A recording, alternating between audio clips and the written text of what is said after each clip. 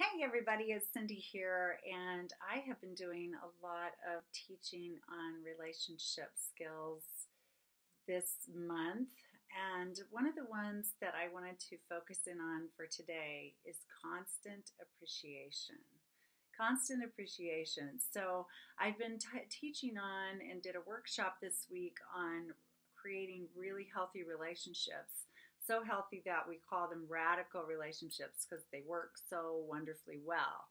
And one of the qualities of those relationships, in my opinion, is there's a whole lot of constant appreciation going on in the relationship. You see, we humans, we like a lot of um, strokes, don't we? We like to know when we're doing well. We like to hear when we've made a difference. Most people like to be acknowledged for things that they do and uh, in some way anyway. And it, the the common common um, human just gratitude, just saying thank you to people can mean so very much, so much.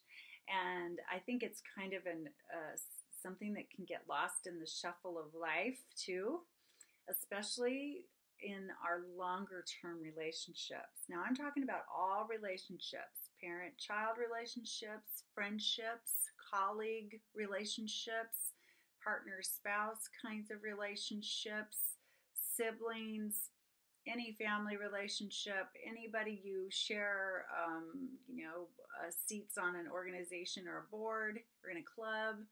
Um, maybe a coach athlete, athlete to coach relationship, anything like that, anybody you're in relationship, somebody who you hire to do a service for you, um, the waiter or waitress at the restaurant, um, the checkout clerk in the store, everybody, everybody wants appreciation.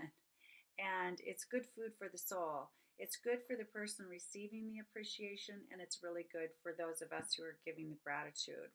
And so, I don't think there's a there's a bad reason to show appreciation to someone and it doesn't have to be, you know, 15 dozen roses every time somebody smiles at you. That's not what I'm talking about.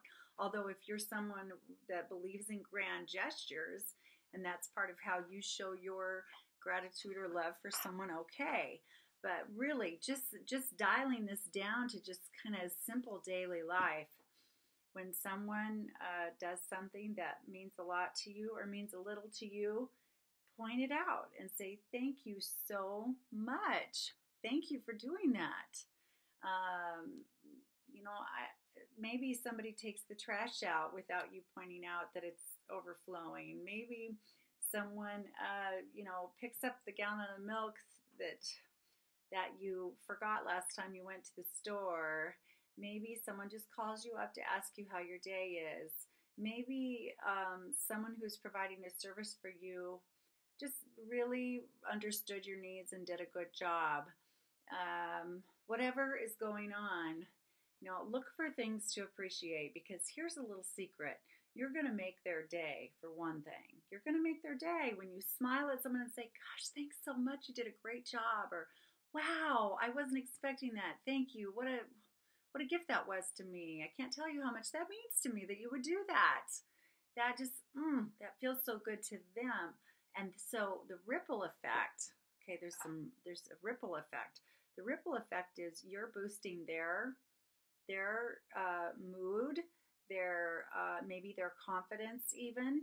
And also, you're giving them some sugar, you know, some yum sugar, and then they're more likely to pass that on. They're they're going to leave your presence and maybe go on with the rest of their day going, gosh, I I also appreciate that so and so did this for me or I, they're more likely to say thank you to another person and then that person will and that person will. See, gratitude is contagious. And then we get everybody feeling gratuitous, everybody happy and feeling appreciative. It's it, it really lifts the energy and the, the spirit of the environment to have people feeling that good. So, and then for you, when you're pointing out, you're noticing people doing things that you appreciate or circumstances that you feel gratuitous about, then that feels uh, like a blessing to you.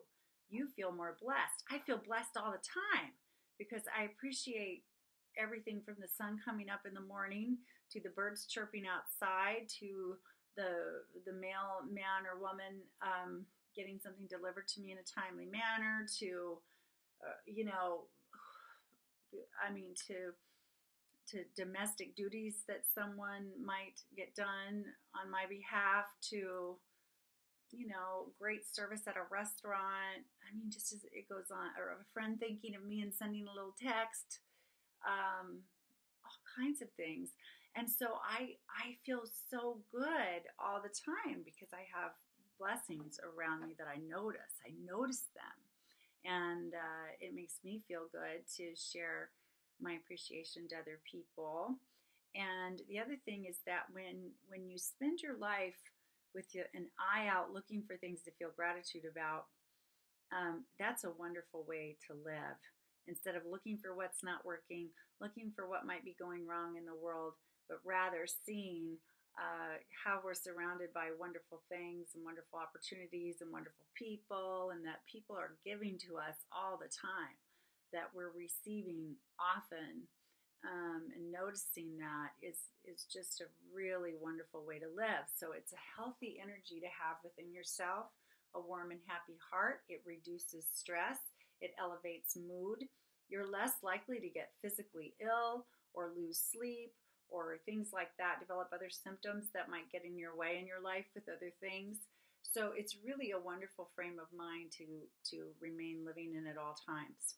So I've also seen and heard of stories of people's relationships turning a very positive corner, actually surviving because they start incorporating appreciation.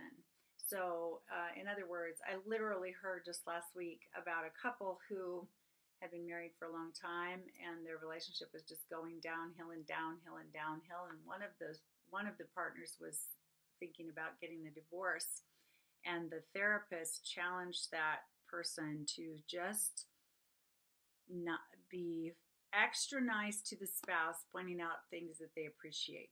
And just do it all the time, all the time, all the time, all the time and um, and the therapist kind of suggested it facetiously. Um, anyway, it's like a little bit longer of a story than I'm going to give you here. But what happened was, is just from doing that, that spouse changed their mind about getting a divorce and stayed married because they started to see all the wonderful things in their spouse and then pointing them out. And so then the spouse felt better about the other spouse too because they were receiving all this gratitude. And so it softened them, it warmed their hearts, and brought them toward one another. So if you have a conflictual relationship with anybody, not just necessarily a spouse or a partner, and you're wondering how to how to manage that, especially if it's someone that you intend to keep in your life, a, a blood relative, for example, or someone you're working side by side and you don't intend to leave your job, or a, a neighbor that you live next to and that isn't going to go away, and neither are you. Things like this, you might shift and go, okay, what can I find to really appreciate about this person? And just look and look and look and look until you find something and keep looking and then start pointing it out when you interact with them and just see how things turn around for you and for them.